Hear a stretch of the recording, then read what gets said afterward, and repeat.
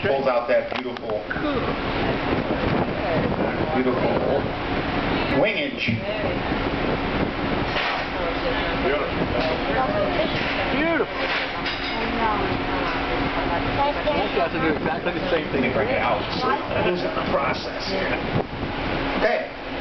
So we got one wing on there. She'll sit down and put a little shaping on that. She can use her flat crimps if she needs them. I'll dig them out to help speed the cooling along.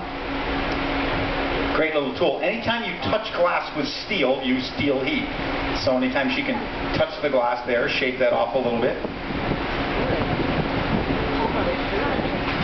And she'll just repeat that entire process. Now, it becomes